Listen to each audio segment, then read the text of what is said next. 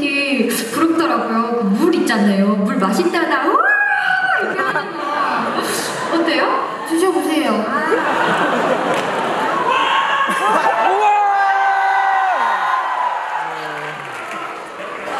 우지 물 마신다! 이거.